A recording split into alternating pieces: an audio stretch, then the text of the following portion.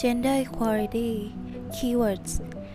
การเลือกปฏิบัติทุกรูปแบบและความเท่าเทียมในการตัดสินใจเป็นผู้นำขจัดความรุนแรงทางกายและเพศต่อทุกคน ยอมรับการทำงานบ้านและการรับผิดชอบร่วมกันในครัวเรือน สิทธิและการเข้าถึงสุขภาพและอนามัยการเจริญพันธุ์ รายงานฉบับนี้จัดขึ้นเพื่อสำรวจถึงปัญหาและการถูกเลือกปฏิบัติทางเพศ ซึ่งเป็นปัญหาอย่างยิ่งในสังคมไทย ทางคณะจัดทำเห็นว่ารายงานฉบับนี้จะเป็นประโยชน์แก่ผู้ที่สนใจ และกระตุ้นสำนึกถึงปัญหาในสังคมไทย หากมีข้อแนะนำหรือผิดพลาดประการใด ทางผู้จัดทำขอน้อมรับไว้ และขออภัยมาณที่นี้ด้วย บทที่ 1 วิเคราะห์ปัญหา ก็ 1.1 ปัญหา การถูกเลือกปฏิบัติ ไม่ว่าจะเป็นเพศชายหรือเพศหญิงหรือเพศทางเลือก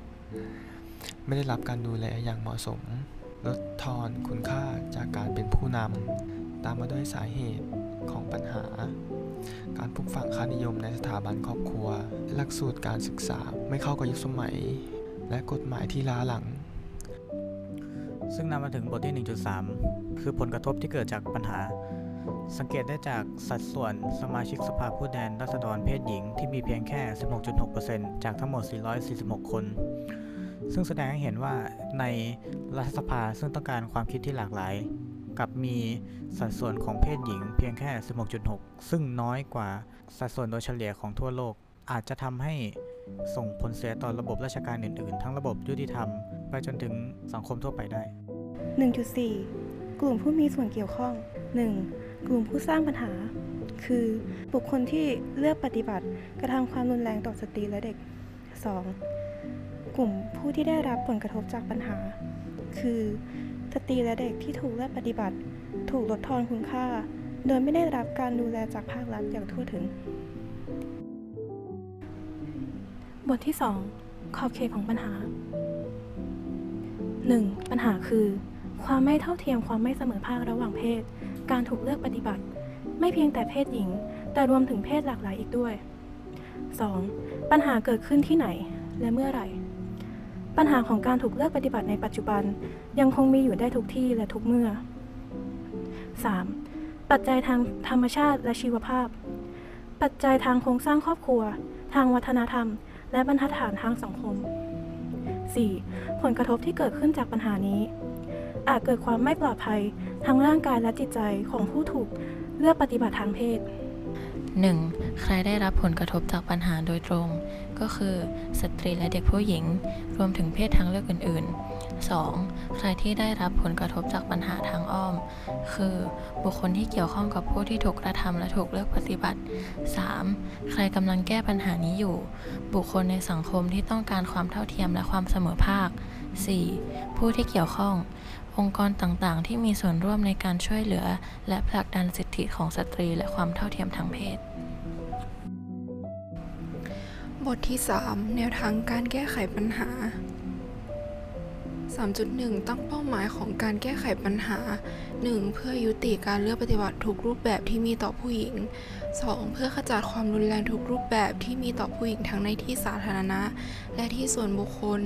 รวมถึงการขจัดการค้ามนุษย์ 3. เพื่อเพิ่มความเท่าเทียม และเพิ่มโอกาสให้กับผู้หญิงในการทำงานและเป็นผู้นำ3.2 แนวทางการแก้ไขปัญหา 1. จัดทำโครงการรณรงค์ เพื่อเพิ่มความตระหนักรู้ถึงปัญหาทางเพศ 2. เรียกร้องให้รัฐบาลกำหนดเพิ่มสัดส่วนผู้หญิง ที่ปฏิบัติหน้าที่ในสภาให้เหมาะสมมากขึ้น 3. เรียกร้องภาครัฐให้มีการกำหนดการลงโทษผู้ที่กระทำความรุนแรงต่อสตรีและเด็กให้มีความเหมาะสมและยุติธรรม 4. นำประเด็นในเรื่องนี้มาพูดคุยกัน เพื่อให้ผู้คนได้ตระหนักถึงปัญหาในเรื่องนี้มากขึ้น บทที่ 4 วิธีการดำเนินงาน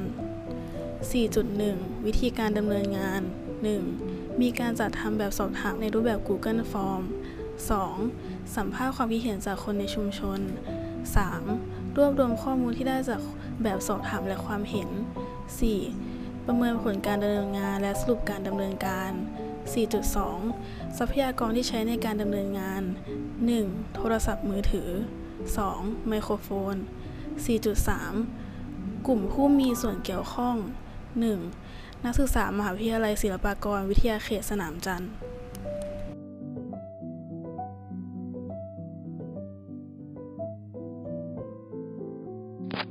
เมื่อโครงการสำเร็จแล้วจะช่วยให้บรรลุเป้าหมายการพัฒนาที่ยั่งยืนข้อใดบ้าง ข้อ 5.1 ยุติการเลือกปฏิบัติถูกรูปแบบที่มีต่อผู้หญิงและเด็กผู้หญิงในทุกที่ 5.2 ขจัดความรุนแรงทุกรูปแบบที่มีต่อผู้หญิงและเด็กหญิงในที่สาธารณะ รวมถึงที่ส่วนบุคคล 5.4 ยอมรับและให้คุณค่าต่อการดูแล และการทำงานบ้านแบบไม่ได้รับค่าจ้าง และสนับสนุนการรับผิดชอบด้วยกันภายในครัวเรือน 5.5 สร้างหลักประกันว่าผู้หญิงจะมีส่วนร่วมอย่างเต็มที่ และมีโอกาสเท่าเทียมในการเป็นผู้นำ5.6 สร้างหลักประกันว่าจะมีการเข้าถึงสุขอนามัยทางเพศ 5.4 เลือกใช้และส่งเสริมนโยบายที่ดี และกฎระเบียบที่บังคับใช้ได้ เพื่อส่งเสริมความเสมอภาคทางเพศ และการให้อำนาจแก่ผู้หญิงและเด็กหญิงทุกคนในทุกระดับ บทที่ 6 สรุปและอภิปราย 6.1 สรุป ปัญหาที่เกิดขึ้นในอดีตนั้นยังคงส่งผลถึงปัจจุบัน แม้สังคมจะตระหนักรู้มากขึ้น แต่ปัญหาเหล่านี้ก็ยังก็มีทั้งปัญหาที่ทั้งได้รับการแก้ไขแล้ว และยังไม่ได้รับการแก้ไขที่ถูกต้อง ดังนั้นสังคมและภาครัฐควรที่จะร่วมมือกันเพื่อให้สังคมนี้ดีขึ้น ประโยชน์ที่คาดว่าจะได้รับสังคมมีความตระหนักในเรื่องความเท่าเทียมทางเพศ และปัญหาความรุนแรงอื่น ๆ ที่กล่าวมาดังข้างต้น ข้อเสนอแนะ ทุกคนในสังคมควรรับรู้ถึงปัญหาที่เกิดขึ้น และร่วมกันแก้ไขปัญหาให้ลดลง และไม่ให้เกิดขึ้นซ้ำขึ้นอีกในอนาคต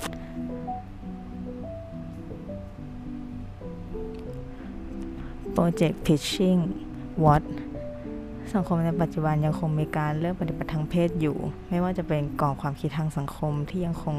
เอื้อประโยชน์แก่เพศใดเพศหนึ่งมากกว่า และในสังคมยังคงมีปัญหาเกี่ยวกับเรื่องความรุนแรงทางเพศเกิดขึ้น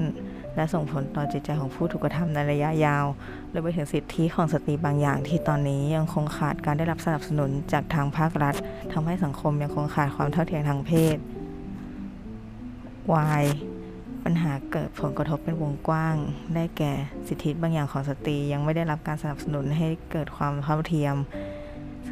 คติความเชื่อของคนในสังคมยังถูกฝังเป็นรากลึก ซึ่งยากต่อการแก้ไข การเกิดความรุนแรงทางเพศที่ส่งผลต่อจิตใจของผู้ถูกกระทำปัญหาที่กล่าวมานะข้างต้นเป็นเพียงส่วนหนึ่ง ซึ่งหากไม่ได้รับการแก้ไขอาจทำให้ส่งผลเป็นระยะยาว และก่อให้เกิดการแก้ไขที่ยากขึ้น ปัญหาจึงมีความสำคัญ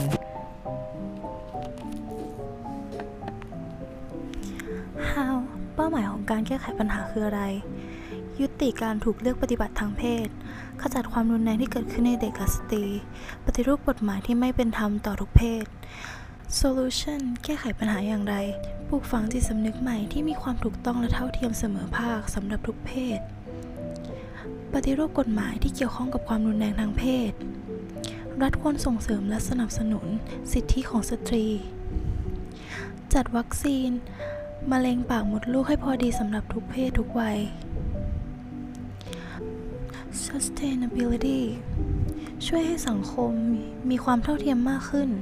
รวมไปถึงการเพิ่มความปลอดภัยให้แก่ทุก sustainability ช่วยให้สังคมมีความเท่าเทียมมากขึ้น รวมไปถึงการเพิ่มความปลอดภัยให้แก่ทุกเพศ ให้อยู่ร่วมกันในสังคมอย่างมีความสุข